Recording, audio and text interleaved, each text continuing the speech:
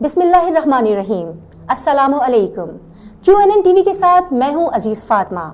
खबरों के सिलसिले को मजीद आगे बढ़ाते हुए आपको बताते चले, Maryland house of delegate for district 44 के इलेक्शन की खातून उम्मीदवार शाजिया शाह के बारे में।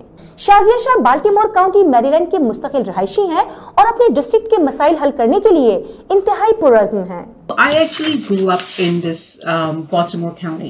Um, we've been, my family has been living here, as I've mentioned several times, for over 40 years now. Baltimore county Maryland की देरीना रिहायशी शाजिया शाह जो अरसे दराज से अपने शोहर और चार बच्चों के हमरा वहाँ मुकीम है एक ऐसी बाहिम्मत खातून है जो Maryland house of delegate for district 44 के लिए इलेक्शन लड़ रही हैं। इंतखाबात लड़ने का फैसला करने की वजूहत बताते हुए शाजिया शाह ने कहा कि मेरे अहल खाना और दोस्तों को यकीन है कि मुझमें मसाइल को समझने उन्हें हल करने और फिक्री फैसले करने की सलाहियत बदरजा अतम मौजूद है।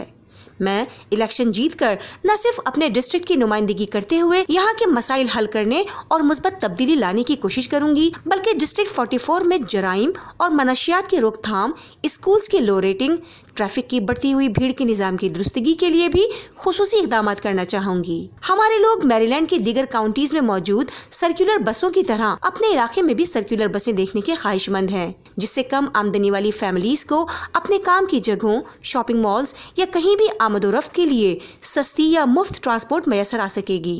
इसके अलावा हम अपने इलाके के चाइल्ड केयर के मसाइल को भी हल करना चाहते हैं।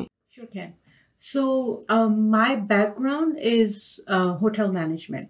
And throughout the years, I think I've been in this um, hotel management for more, more than 14. हमारी डिस्ट्रिक्ट का पैंसठ फ़ीसद हिस्सा खातन पर मुश्तमिल है, जिनमें से बेशतर अपने अखराज पूरे करने के लिए एक से ज़्यादा नौकरियाँ करने पर मजबूर हैं। उन तमाम माओ के लिए मुफ़्त या सस्ता तरीन चाइल्ड केयर होना इंतहाई ज़रूरी है, ताकि वो यकसुई के साथ अपने मामला ज़िंदगी जारी रख सकें। एक और इंतहाई संगीन मसला जिसका ताल्लुक हमारे ज़िले के नौजवान और बूढ़े तमाम ही रिहायशियों से मुतालिक है, वो है इंसानी स्मगलिंग। जी हाँ ये सच है और ये मसला पूरी संगीनी के साथ बाल्टीमोर में बढ़ता जा रहा है। बूढ़े नौजवान मर्दो खातन सब इस खतरनाक कारोबार के हाथों बदसलूकी का शिकार हैं। एक कम्युनिटी की हैसियत से हम सबको इस मसले के हल के लिए कोशिशें करनी होंगी ये वो तमाम मसाइल हैं जिनके हल के लिए मैंने Maryland house of delegate for district 44 के इलेक्शन लड़ने का फैसला किया है